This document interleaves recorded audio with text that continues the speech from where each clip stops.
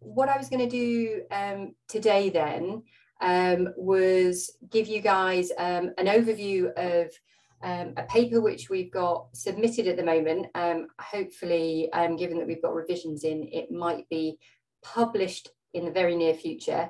And this is a continuation of some work that I've been doing with my own furred and feathered friends for quite a while, looking at zookeepers um, and their interactions and relationships with the animals in their care. So um, human animal interactions in zoos then is something I guess I've been preoccupied with for quite a while. And just to give a little bit of a background for those who haven't listened to me before or don't have so much of a background in human animal interactions in zoos, when we think about human animal interactions, we're usually talking about that dyadic um, one off event where you've got a human and an animal, and either of them might do something um, in the direction of the other. When you've got multiple interactions occurring, you might then get the development of a relationship. And that relationship is where either of the, those um, individuals might start being able to premeditate or have an expectation about what the other might do because there have been that many interactions that have occurred. And as a consequence, we might expect those relationships to be positive, neutral, or negative. Now, a very positive relationship might lead on to a human animal bond. And a human animal bond is where we would expect both the human and the animal to appreciate and have um, a positive um, expectation um, of that relationship and feel that they gain positively from it. Now, as a consequence, that might be really hard or can be really hard to empirically demonstrate for our animals, but it is actually something quite easy we can survey people about. And as a, a, consequence, myself and Geoff Hosey have done a number of projects looking at um, zookeeper animal bonds. And then more recently, though probably in the last 10 years, we've been gathering a whole load of other friends and colleagues to join us in this work, trying to expand our understanding of these human animal bonds, so the human animal interactions and the relationships. Now, in a, a key paper um, some years ago now, Geoff, and so that's Hosey, Geoff Hosey, um, did, sort of outlined that one of the defining features of zoos is people. And more recently, um, and it's it's taken quite a while, people um, are beginning to appreciate um, people in zoos. And so certainly there was a, a great paper um, by Cole and Fraser, which also um, sort of supported this idea that given that people are so ubiquitous in zoos that if we're thinking about zoo animals and their welfare, then we should be thinking about the impact that those people have. Now, those people can be categorized in two different ways. We can think about people who are familiar to the zoo animals, um, and these are a whole variety of different zoo professionals, or we can think about people who are unfamiliar and those are zoo visitors. Now, increasingly, zoos are incorporating um, a whole variety of human animal interactions with zoo visitors. And so um, there's been some research, and certainly one of my master's students a couple of years ago looked at the impact of Keeper for a Day programs, for example. And this was a phenomenal um, project because she was able to look at familiar and unfamiliar people doing the same role in the same place. And the only difference was that one of those was a familiar keeper and one of those was um, a person taking part in the Keeper for a Day scheme. And what she was able to find out was that people's uh, the, the, the animals would significantly move towards their familiar and not uh, move towards the, the unfamiliar. And so the, animals were differentiating um, between the unfamiliar and the familiar, but there was no um, data that suggested that there was a negative consequence for the animal itself. Now, today, most research has focused on the zoo visitor effect. Um, and so looking at what impact zoo visitors going around um, the zoo might have on animal welfare. But um, one of the things that I guess I and a number of the people I've been working with are also really keen to look at, which can sometimes be a little bit more difficult to, to, to sort of implement, is zookeepers. And so zookeepers, again, have a huge role in um, the lives of animals um, that they look after. And so it, to my mind, it's interesting that all these years, and I have to say, I'm one of those people, we look at housing and husbandry, how big is the enclosure, what substrates are we using, how are we feeding them, are we giving them enrichment? And it's only fairly recently that we go, oh, those people that you do or don't interact with, or who hang out, or who feed you, or the people in your lives that are there for your whole life, how do they have an impact on the welfare of the animals in zoos? Now, with um, Sam Ward, um, and part of her, her master's research was looking at um, and, and, demonstrating that one way that um, zoo animals are getting these um, keeper interactions is through positive reinforcement training. And unsurprisingly, um, certainly if, if one uh, thinks about the, the psychology um, phenomena, that positive reinforcement training reduces the latency that animals will then respond to their keepers. So not surprisingly, if you have a positive reinforcement training program, your um, animals will respond to you far more quickly. And one would say you're not doing it well if they don't. Another um, uh, project that, that Sam and I then looked at was looking at the relationships more broadly. And so this research was able to demonstrate that within any single keeper animal dyad, so the same keeper and the same animal interacting with each other on a number of different occasions, that those relationships did have an impact on rhino, zebra, and Sulawesi macaque behavior. So we have some nice evidence that shows that these interactions can have impacts on behavior and potentially welfare for the animals. We do have data that shows that relationships are actually formed between a particular keeper and an animal. When it comes to bonds, as I was saying previously, it can be quite difficult to um, get information from the animal's perspective, but certainly um, with colleagues Geoff, um, Linda Burke, um, and um, also uh, colleagues in, in Australia, we've looked at um, surveying zookeepers and they will almost always say that they have a bond with the animals in their care and they will have a bond with whichever animals they happen to be looking after. There is a, a, a, new paper that's come out, which is really interesting because that then extends and goes into this realm I was saying that's quite difficult to, to get data on, where they describe that a bond, they feel a bond can be described because they're able to demonstrate positive benefits for both elephants, the animal in their study, and keepers. So one of the questions that, that we as a group were really interested in taking it further is to then think about, yes, keepers have bonds with the animals that they work with, but how does that relate to how they might feel about other animals in their lives? So anecdotally, there is a presumption that most people feel very attached to the pets in their lives. Um, and um, so what we were interested to look at was, is there a comparison between how keepers feel towards the pets in their lives and the zoo animals they look, um, look after? Now, quite helpfully, um, owner pet relationships is something that has been studied to quite a large extent and we were able to use the Lexington pet attachment store um, score and we made some adjustments to that so that we could look and ask keepers for information about how attached they felt to their pets and how attached did they feel to the animals in their care. Um, and this is a much younger version of me and a Sulawesi macaque and um, a slightly less younger but a lot younger with uh, my previous dog Erin so in a, a, quite a large group um, with colleagues Lindsay Skyner, Linda Burke, Sam Ward, Wendy Shaw and Geoff, um, we initiated this multi-zoo collaboration, which includes zoos and universities in the UK, Australia and New Zealand.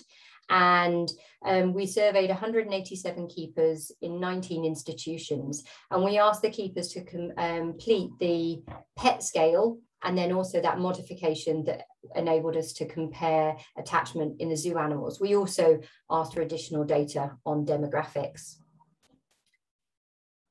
Now, um, I'm going to just show you some snapshots of the data um, and all of the graphs are set up similarly. So along the y-axis and the vertical, we've got the mean zoo attachment score. And then along the bottom, we've got the different taxa. And what you can see is that keepers responded fairly uniformly that they had um, a, a, high level um, of attachment to all of the different taxa um, that, that could be looked after. Um, above the bars, there's the stand, well, on the bars, there's the standard error around the mean, and then above those is the N, the number of um, keepers who were looking after and um, spoke to those different taxa. When we then compare this to the pet attachment score, again, we've got the mean pet attachment score up the y-axis, and we've got the different types of pets that people um, responded to having. We can see that there is a slight variation in how attached people felt to those pets, but on average, they, they again had a high level of attachment to the pet that they chose to have. Um, and indeed, um, there are a couple of um, uh, outliers in terms of having a sheep or a, a eastern um, eastern rosella or a budgie. Those and, and even a conure were quite small numbers and probably speaks to our um, Australian and New Zealand um, audience, whereas a dog, we had 90 respondents and cat, we had 40. So those are the more typical of the pets. Now, when we um, looked at the zoo attachment score by institution, this is when, to me, things start getting a lot more interesting. I don't think we're surprised that people, uh, that keepers felt that they had a good level of attachment to the animals in their care. I don't think it's that surprising that um, zookeepers were also attached to the pets they have. What now I, I want to show is along the bottom are all the different zoos that we got data from and then the mean attach, um, attachment score to the zoo animals on that y-axis. What we now see is some or, or a lot more variation in the level of attachment that the zookeepers were prescribing to the animals that they look after. Now, for some of these zoos, it's true they were quite small and we had um, quite low reporting. So we had one keeper, these two, we um, these three, we had three keepers. But this zoo, we had 69 keepers. And that is a zoo that has a very, very small standard error. That means that essentially, of those 69 zookeepers that took part in that survey, they all agreed pretty uniformly with each other. And that it seems to be um, as we start getting into these larger zoos or the zoos with greater responses 19 zoos 70 uh, 19 keepers 17 keepers we start getting quite a, a, a strong consensus between um, the attachment they feel they have to the animals in their care so when we then do the statistical analyses on these data what we find is that the zookeepers report to having a higher attachment to the pets in their lives than they do to the animals in their care. Now, when I report on this, I want to be nice and careful um, about how I, I describe this because it has been discussed and certainly um, chatting with the, the colleagues that we wrote this with, but also outside of this study, that what we're reporting on is what keepers have told us.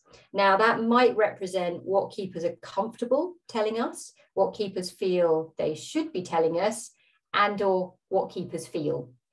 Um, but what we can say is from the data that we have, the, they're reporting that they have a higher attachment to the pets in their lives than the zoo animals in their lives. Another thing that I find quite interesting, especially because I had a review back once saying, but there are differences between species. How can you presume that keepers feel the same about different species? Of course, they won't feel the same about, and I would suggest that, well, they suggested a difference between mammals and other taxa. And in actual fact, there is no difference between the attachment scores that keepers ascribe between different species. So if you're a keeper who looks after a mammal or a non-mammal or a different type of mammal, the attachment score is no different. So there, there is no, no species distinction in how much keepers feel attached to the animals in their care. But one thing again, and this I sort of alluded to already, is that there are significant differences in how keepers from different zoos report their attachment to animals. So depending on the zoo that you work in, you feel or you report having an attachment which is very similar to other, the other keepers um, that you work alongside. Now, what's interesting about this is that we went to great lengths to ensure that um, surveys were undertaken independently, that they weren't undertaken in groups. So there wasn't uh, necessarily conversations between people going, Oh, did you give a three? I gave a seven. Oh, maybe I should have given a five. And so, in actual fact, I feel fairly um, confident that what we're seeing here is a product of either um, an uh, of a zoo culture of how zoos are operating so that keepers within a particular zoo are more similar than keepers in a different zoo. And so this again, for, for someone who's worked and, and researched in and around zoos for most of my career, this is this is one of those ones I personally find as quite quite a pivotal moment. A lot of us working in zoos know that zoos are different. We know that visitation and visitors are different, but collecting the type of data that provides the empirical evidence to demonstrate that zoos are different is really tricky. And so this paper relatively simple as it might be, provides us with some of the first data that are able to demonstrate that there is some type of zoo culture which has an impact which makes keepers within that institution more uniform than if they worked within another zoo. And so keepers in one zoo are more similar to each other than keepers at another zoo. Now, what leads to this zoo culture? It could be many things potentially keepers um, who are similar um, might um, be employed, therefore recruitment might employ a type of keeper. It might be that through training and expectations and um, just the way that operations are scheduled within a zoo, it molds people towards um, a, a similar type of culture. But what to my mind is really interesting is to think, okay, now that we can recognize that there is this zoo culture, how might that have an impact on keepers in terms of job satisfaction and the perceptions of their animals? And this again is where I come back to this idea of are keepers reporting on how they feel or how they feel they're expected to report on their feelings? Um, but also, how does this then have an impact on the animals? And maybe it doesn't at all. Um, but certainly it adds a whole new dimension to thinking about um, the impact of, of stock people, of zookeepers um, in the lives of animals, and also thinking about how zoos might have an impact on zoo professionals. Um, so I'd like to acknowledge and, and thank obviously the, the, the collaborative effort um, and the rest of the, the team that took part in this.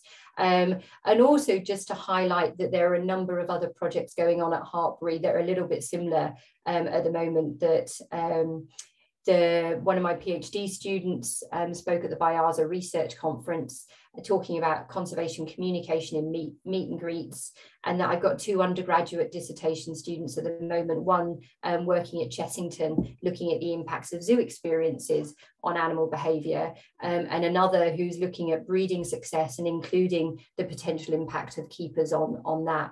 And then I personally have a, a an ongoing mission uh, exploring the impact of zoo visitor animal interactions on mental well-being and society. So if you've questions on, on any of those things and or would like um, a copy of the graphical abstract um, or any other information, then please ask.